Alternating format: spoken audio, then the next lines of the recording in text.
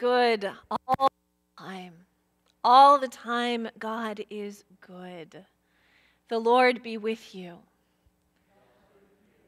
Welcome to worship online at St. Andrew's, where we seek God and seek to abide with God right where we are.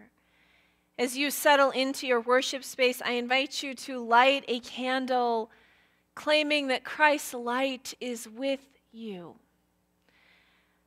I also invite you to find your Bible, and if you want to get ready, you can open it to 1 Samuel chapter 3 today. That is what we will be working with. Today, during the service, we will also be installing new and returning trustees, and you are a part of that even where you are. So please do offer your hearts and prayers and support to them. The bulletin announcements are on the website for you. And I want to remind you that the mission spotlight this month is um, some kind of pasta. What kind of pasta is that? Canned pasta, because we don't do glass. Canned pasta and instant hot cereal. And you're welcome to drop those by the church. If you have things for the free little pantry, you can put them in there at any point when you are around the church. There are other announcements for you, but now would you pause with me? Let us calm our hearts and minds and lift them up to the Lord in prayer. Let us pray. Holy God, in the midst of all that's going on in the world, in the midst of this morning, we come.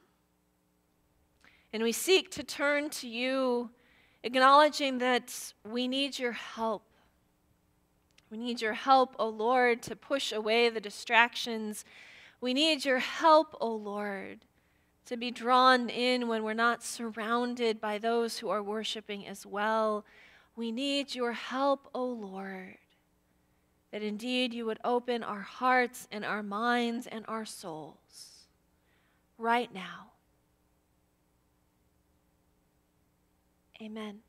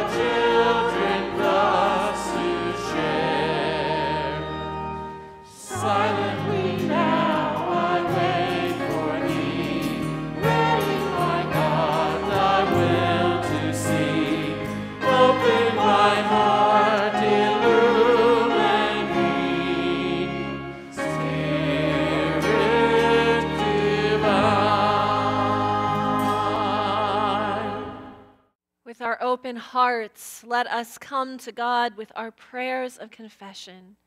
Join me in this prayer found in the bulletin. God of all that is good, we confess that we make quick judgments of what is good and what is not. Too often we are wrong.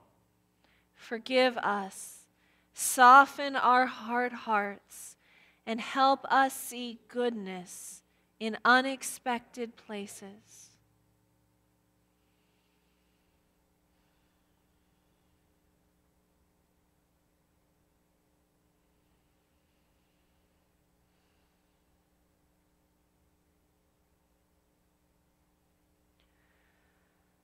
The proof of God's amazing love is this while we were yet sinners and so far from God, Christ came for us and died for us, rose in power, and now Christ is praying for us. People of God, know that in Jesus Christ you are forgiven. And be at peace. May the peace of our Lord Jesus Christ be with you all. Take a moment to pause in this peace and find a way sometime today to pass this peace of Christ on again and again. Amen.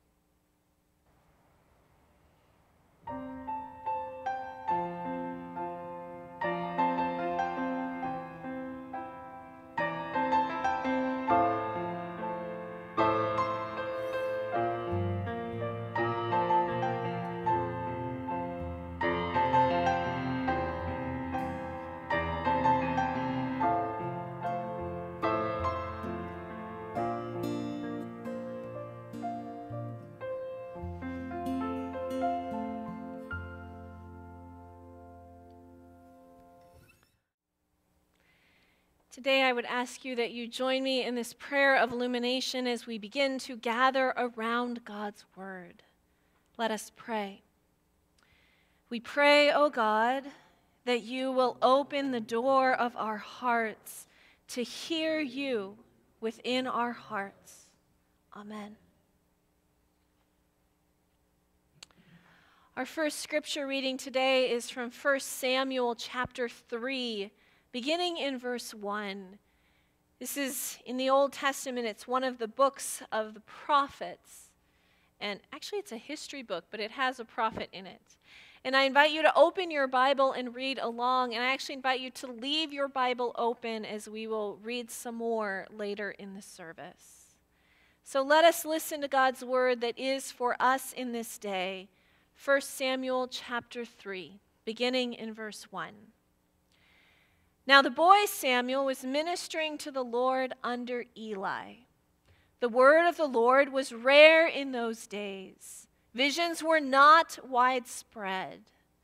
At that time, Eli, whose eyesight had begun to grow dim so that he could not see, was lying down in his room. The lamp of God had not yet gone out, and Samuel was lying down in the temple of the Lord, where the ark of God was. Then the Lord called, Samuel, Samuel. And he said, Here I am, and ran to Eli and said, Here I am, for you called me. But he said, I did not call, lie down again. So he went and lay down. The Lord again called, Samuel, Samuel. And Samuel got up and went to Eli and said, Here I am, for you called me. And he said, I did not call my son. Lie down again. Now Samuel did not yet know the Lord, and the word of the Lord had not yet been revealed to him. The Lord called Samuel again a third time, and he got up and went to Eli and said, Here I am, for you called me. Then Eli perceived that the Lord was calling the boy. Therefore Eli said to Samuel, Go lie down.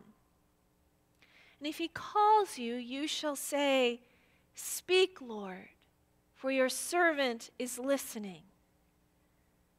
So Samuel went and lay down in his place. Now the Lord came and stood there, calling as before, Samuel, Samuel.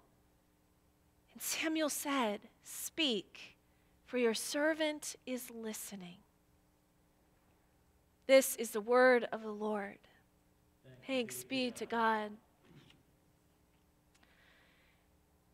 Today I have a few different things in thinking about how we use our voice and how we hear sound. And, and I have these cups that usually we use for coffee, right? I'm sure some of you out there have coffee. But when I was young, I remember we'd have, I don't know if you can see, there's actually a string between these. We would have cups with a string, and one person would hold it way across the room, pretend with me, and the other person would speak, and they would try and hear it. And you know what? I have to admit, I am not super good at science. But it always seemed like I listened so much harder when I was using these in some kind of game or we were trying to hear across the room. And I loved that. Recently, what I found with Riley, I, some of these were in his stocking. I have no idea what you call them, but they, they make fun noises when you move them. And you can also just talk through them and listen through them sort of in the same way. They also were really fun in the bath.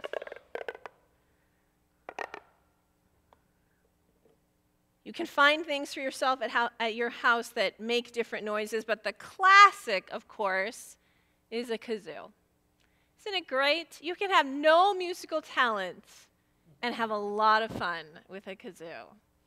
Let's see, what, what song should I try? Okay. They don't have any ideas. Let's go with. Oh, Jesus loves me. Perfect.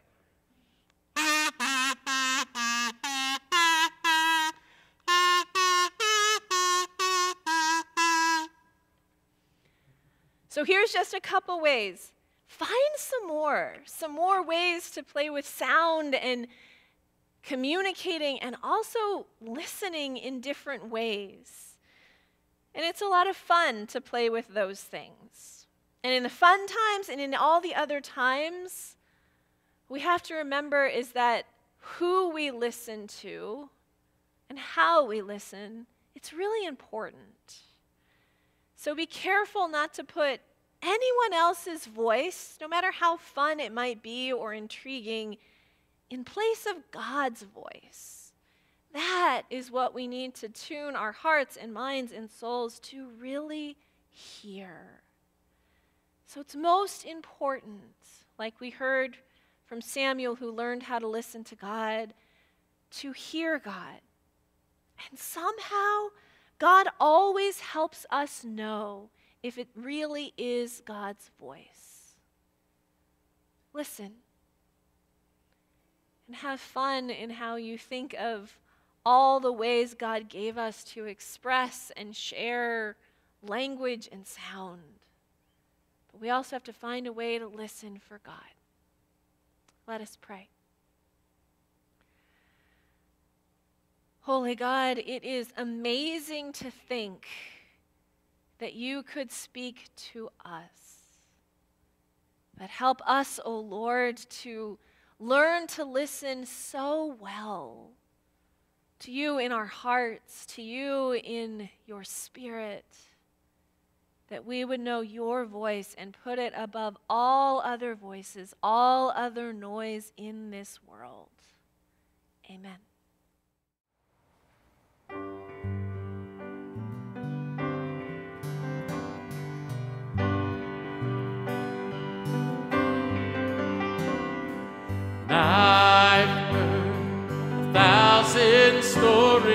Stories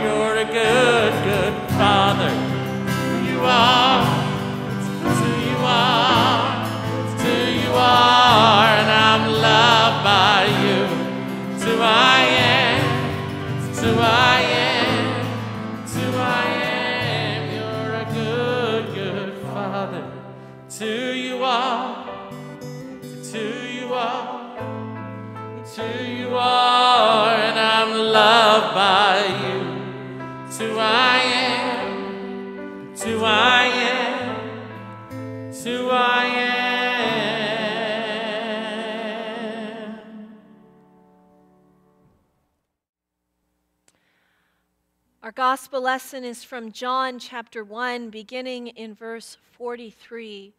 I invite you to turn to the gospel, but I also invite you to put something in your Bible there at 1 Samuel. We're going to come back to it. So 1 John 1, verse 43 to 51. This is God's word for us in this day. The next day, Jesus decided to go to Galilee. He found Philip and said to him, Follow me. Now, Philip was from, Bethsaida, the city of Andrew and Peter. And Philip found Nathanael and said to him, We have found him about whom Moses in the law and also the prophets wrote Jesus, son of Joseph from Nazareth. Nathanael said to him, Can anything good come out of Nazareth? Philip said to him, Come and see. When Jesus saw Nathanael coming towards him, he said to him, Here is truly an Israelite in whom there is no deceit. Nathanael asked him, Where did you get to know me? Jesus answered, I saw you under the fig tree before Philip called you. Nathanael replied, Rabbi, you are the Son of God. You are the King of Israel. Jesus answered, Do you believe because I told you that I saw you under the fig tree? You will see greater things than these. And he said to him, Very truly, I tell you, you will see heaven opened and the angels of God ascending and descending upon the Son of Man. This is the word of the Lord. Thanks be to God.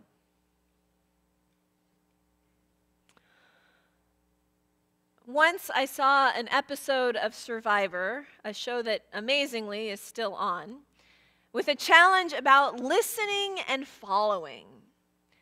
So they paired people up, and one person was put on a platform, and the other person was put way across this huge dirt field and blindfolded. And between them, there were obstacles and fences and things you had to go around. A straight line was not an option. So that one who was on the platform was supposed to call to the other and lead them as they followed their voice across this dirt field full of stuff. But of course, they weren't doing it alone. There were 10 other voices and 10 other people all trying to get a cross. Of course, it was chaotic. And people were screaming at those on the other side, which made them harder to hear. And the mix of voices caused confusion as everyone tried to call directions at once. What most startled me is the one who was supposed to call to the other, who at one point just sort of seemed like they gave up and said, There's nothing I can do for you, as they were there wandering in the field. But some of them made it across easily if that voice was calm and clear and persistent. Some came with a few scrapes and some ended up going in circles, but eventually everyone got to the other side. It was a good challenge. And it points us to the truth that who we listen to and who we follow is not just important, it's a part of who we are and how we survive. In our first scripture today, we find Samuel. He's a boy, which means he must be under 12. And he's living in the temple as his mother promised God when she begged for and prayed for a child. I love this story. I love imagining a child at night waking up and running down the hall as they hear a voice. And yet, here, that voice is not coming from the one Eli is running to. It's not coming from Eli, that priest who is near, who seems to be charged with Samuel's care. The scene plays a few times before Eli realizes that it's something else going on. This isn't just one of those getting out of bed tactics. And it also reminds us that the voice of God, it was rare in those days. Even in the temples and here, we find God speaking to this young boy. So Eli, he sends Samuel back and teaches him what to do to listen again for the voice, and then he gives him the words to say, Speak, Lord, for your servant is listening. Just as we did today, this is often where we stop reading. And as Diane Roth writes about this passage, she, says, I used to think that the end of Samuel's story was when he learns to listen to God. I wasn't curious at all about what God had to say. This isn't exactly my experience, but I relate to it because I've often read this passage in teaching or preparing a sermon, and then I go and say, well, what is it? What does God say? Eager to hear of how God is ready to lead Samuel and offer encouraging words and a message to match that brave boy's words that say, Speak, Lord, for your servant is listening. But as I read on for those answers, looking for that wonderful message, I quickly pull back to verse 10 not at all finding what I expect. Yet today, let us listen to what God says to Samuel. This too is God's word that is for us in these days. If you have your Bible open, we are going to continue reading 1 Samuel chapter 3 in verse 11 to 18.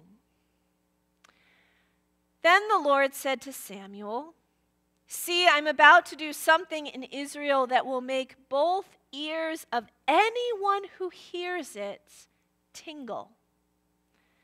On that day, I will fulfill against Eli all that I have spoken concerning his house, from beginning to end. For I have told him that I am about to punish his house forever for the iniquity that he knew because his sons were blaspheming God and he did not restrain them. Therefore, I swear to the house of Eli that the iniquity of Eli's house shall not be expiated by sacrifice or offering forever. Samuel lay there until morning. Then he opened the doors of the house of the Lord. Samuel was afraid to tell the vision to Eli. But Eli called Samuel and said, Samuel, my son. He said, Here I am. Eli said, What was it that he told you? Do not hide it from me. May God do so to you and more also if you hide anything from me of all that he told you. So Samuel told him everything and hid nothing from him. Then he said, It is the Lord. Let him do what seems good to him. God speaks. It is rare in those days, but God speaks, and the word is difficult. The Old Testament scholar Richard Boyce speaks to these later voices and he says, as you keep these verses in the reading, you have a powerful story regarding the courage required to listen and to speak.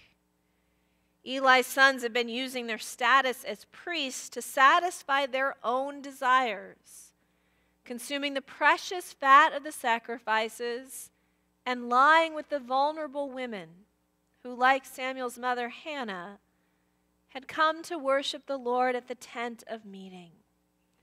These are heinous sins, but who will speak truth to power? The voice comes from God through the voice of a child. When we say, Speak, Lord, for your servant is listening, are we listening well enough to hear something difficult? Something that makes us shake, something that judges in a way we wouldn't. What a message for Samuel, who's like a son to Eli, to deliver to him. Of course, he laid awake through the night, worried about giving this message to the one he cares about. And what a crushing message for Eli to receive. Yet he asked Samuel to tell him and he hears this difficult word. And then we see Eli respond rightly. After his own sin is revealed, for he allowed it to happen, he stayed silent too long, yet now he says, It is the Lord. Let him do what seems good to him. Sometimes the truth is difficult. Yet, like Samuel, we need to learn to listen. We have to sort out all those other voices that crowd our ears to be quiet and wait in silence. I consider myself a beginner in the practice of seeking to listen to God. Yet I will, I will share with you what how I try and practice this, that it might offer you a place to start as well. It seems best in the listening to start with silence. And I often find my heart being searched. Where have I put God? What is in God's place? Are there ways I've pushed God out or replaced God or or put in the things that I want. And then again, to come back to that silence and listening, finding a place where the other voices finally fade away. Sometimes a light breeze helps. Just wash them out of your mind. Now, I've never heard a direct message like Samuel, but sometimes there in that silence, that's where I find the Spirit nudging me. Sometimes something simple, nudging me towards someone that needs a call or to prayers that I've let rest on my heart without lifting them up. But sometimes to a new possibility or a new thought that just might fit in God's dreams. And then this is where more of the work of begins as scripture is searched. Is this what I want? Is this voice coming from within me or does it go with God's word? Is it moving towards Christ or away? And then finally, how can I bring this into the communion of God's people? For we discern together to see if God will bring movement to a new possibility or a new thought. Listening takes practice and patience. Listening takes knowing the other voices and being able to turn away from them and to God. As we listen, we are also more ready to follow Christ. Maybe even finding, as Nathaniel did, that good things come from unexpected places. So, people of God, in these days, in these difficult days, we need to, each one of us, to stop and reflect what are the voices we are listening to? What authors or commentators or news anchors or preachers or, yes, even politicians, what voices are in our head? Who are we following? Who or what has subtly or slowly pushed God back and tried to put other paths and other beliefs and other ways in the place of God's ways, or even tried to disguise them as God's ways? We are not perfect, not a single one of us. We all wander and listen to what we want and what we like. And sometimes God's word may come and be difficult. But we too can come back and say, It is the Lord. Let him do what seems good to him. Let us seek to search our hearts and to listen, to find, to search for God's voice amidst the chaos and the clamor. Because we need it. Let's pray. Oh Lord, help us. Teach us to listen for your voice, to listen to your voice, to find it. And oh God, silence in us any voices that seek to take your place or that lead us away.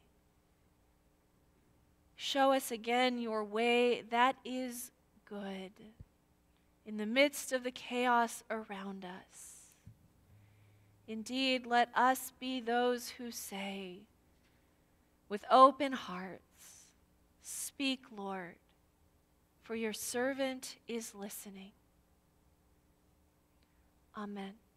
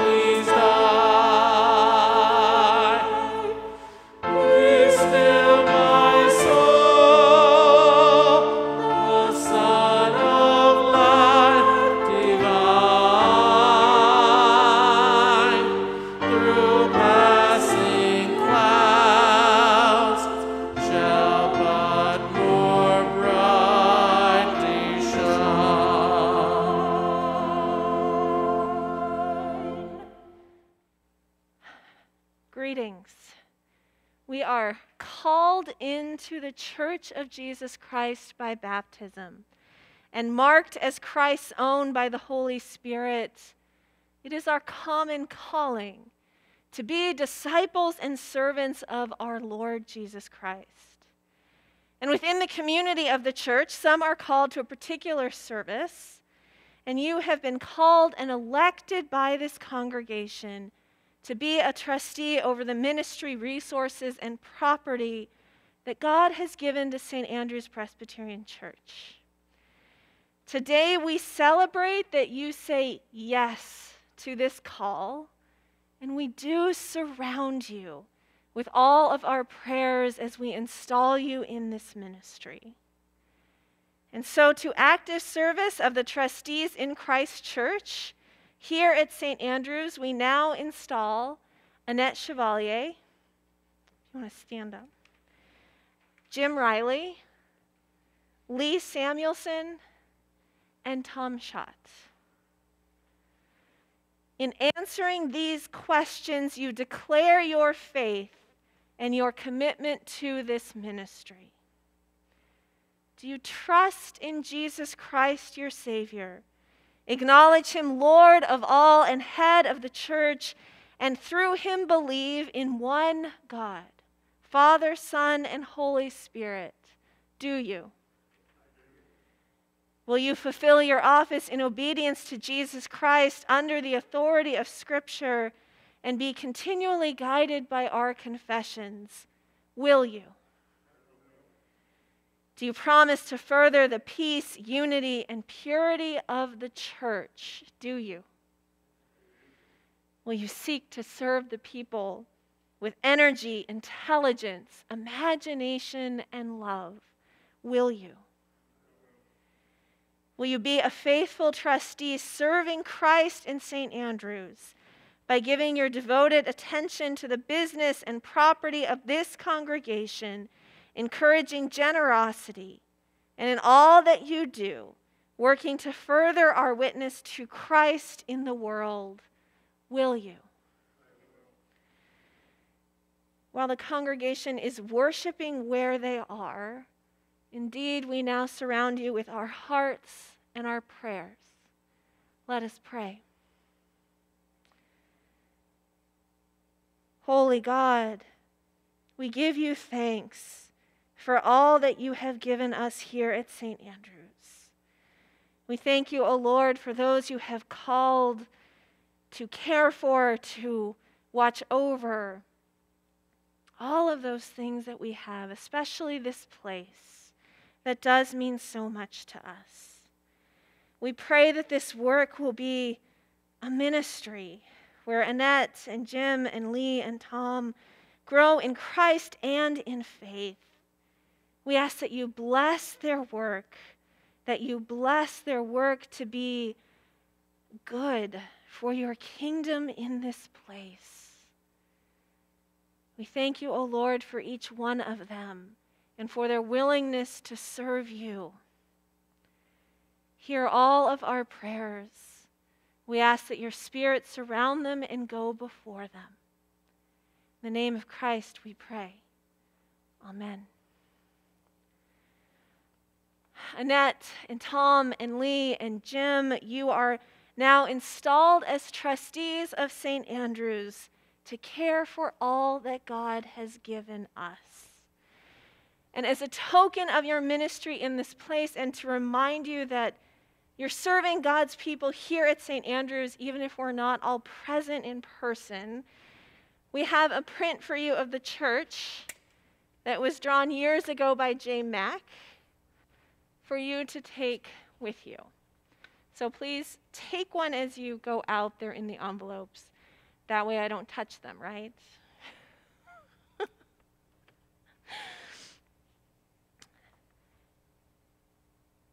we do hope, though, that God will guide you in this ministry, that the Spirit will increase your faith, and that Christ will lead you in all things.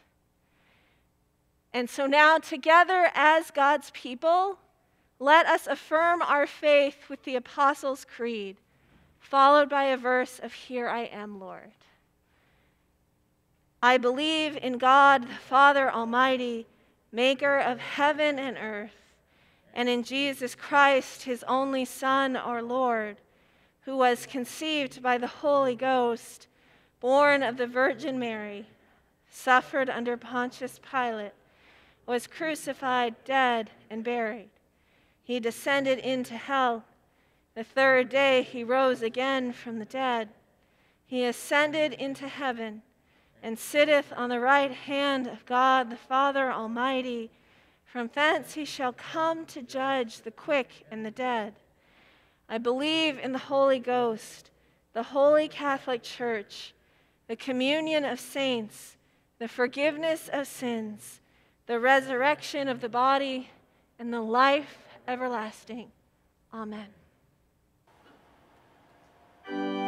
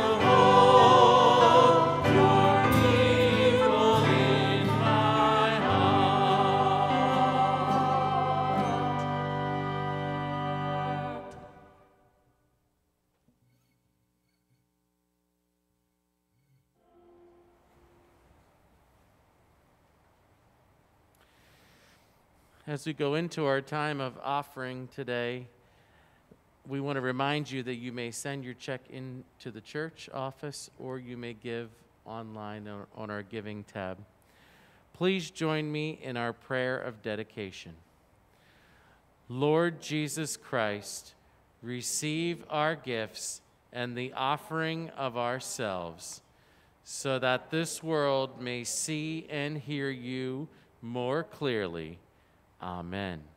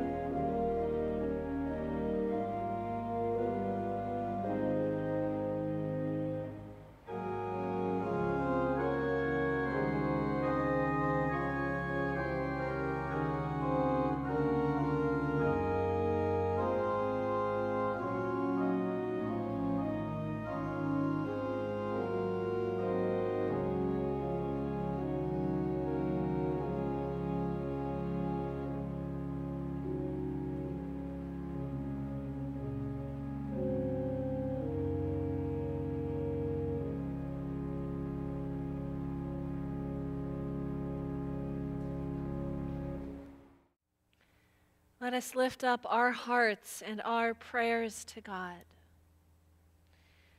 God of all that is good, we come to you today seeking your wisdom, seeking your understanding of truth and what is good.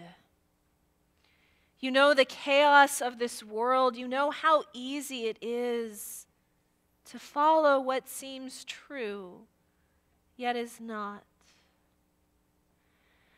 Today we pray for this world and for our nation. We pray for the transition of leaders. We pray for the inaugura- inauguration in this next week. We pray for safety we pray for peace, even while images that destroy peace keep entering our minds. Yet we do pray for peace on earth and good will for all. We pray for our leaders to have wisdom and to work together. In the midst of all of this, for us, May you be the one who leads us. We continue to pray for the pandemic. May all of us continue to turn to you for our hope and to consider how we should be your disciples now, how we are to follow Christ now. We pray for those who have tested positive. Hear our prayers for Bob and Julie. Be near them, O Lord, and help them as they personally face this disease. Uphold them and their health, we pray. We pray for Taryn as she recovers from surgery, and Lord, we ask that you would carry away the pain. We pray for Natalie as she continues to journey on this road of recovery. We thank you, O Lord, for even small steps. We pray, O God, for all who grieve. There are too many, yet you know them all. We lift up the Butler and the Cochran families as they grieve the loss of Harry. We ask that you surround Lois and Sean and Derek with your love. We pray, O oh Lord, for the Rahat family. Oh Lord, as they grieve losing Diamond so quickly, as a bullet has taken her life, we ask, O oh Lord, that you would surround them with a peace that passes all understanding and give them the space they need to cry out. Hear their cries, O oh God.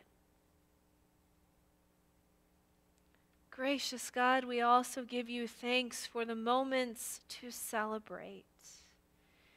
Today we give thanks for the marriage of Perry's niece and ask your blessing on this new couple as they come together in the midst of this time that has so much separation. Oh Lord, as we offer you our prayers, above all, we pray that through your Spirit, you would let us listen to you. Let us follow you through all the unrest, through all the rhetoric, through all the uncertainties. Let us see where we have wandered away and bring us back to your voice, to your truth, to your hope and your love, and remembering. Remembering in every face that crosses our path that it is not just for us, but for all. Holy God, we join our hearts and our prayers with the words that are always right because they're the words that Jesus gave to us, saying, Our Father, who art in heaven, hallowed be thy name. Thy kingdom come, thy will be done, on earth as it is in heaven. Give us this day our daily bread, and forgive us our debts as we forgive our debtors. And lead us not into temptation, but deliver us from evil. For thine is the kingdom and the power and the glory forever.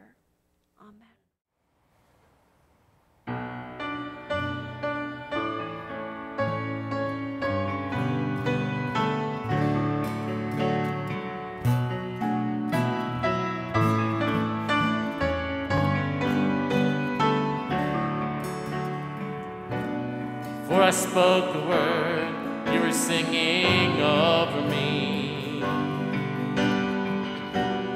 You have been so, so good to me. Before I took a breath, you breathed your life in me. You have been so, so kind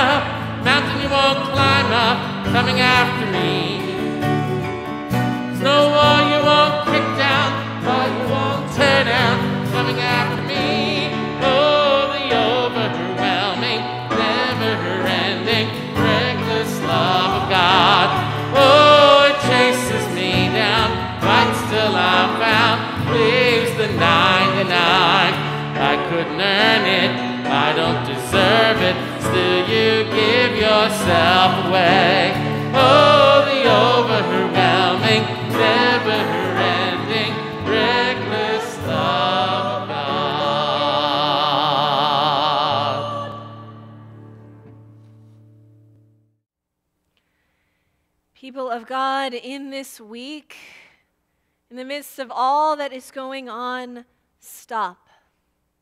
Be still. Listen. Search yourself and turn to God, seeking to listen and to follow God with all your heart and mind and soul and strength. It is the way of truth. As you go into this week, may you go with all the grace of our Lord Jesus Christ, the love of God the Father, and the fellowship of the Holy Spirit. Alleluia. Amen.